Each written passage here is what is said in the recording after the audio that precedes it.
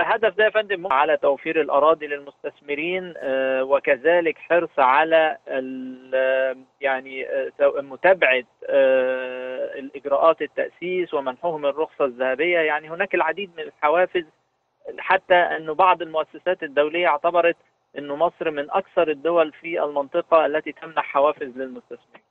النهارده كان أيضا في زيارة لميناء دمياط ماذا عن الموانئ المصرية ورئيس الوزراء تحدث على